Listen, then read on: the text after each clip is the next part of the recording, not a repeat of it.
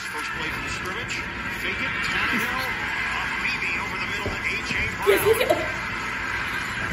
yes, yes. Did you turn that down? No. You're so rude. You're so rude. Dude, what's your problem with us? First of all, chess. See it's so stupid.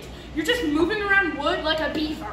Yeah, in theater, like all you do is act like you're someone that you're not in front of a lot of people. Like, hello, narcissist. What about your football thing? You're just cheering for a group of men hurting themselves that you don't even know. Yeah, it's just so stupid. Like, there's nothing appealing to it. Yeah, try football so we can prove you wrong. Okay, just do it like this.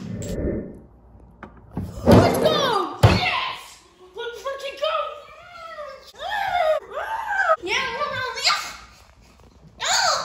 Yeah, was good play.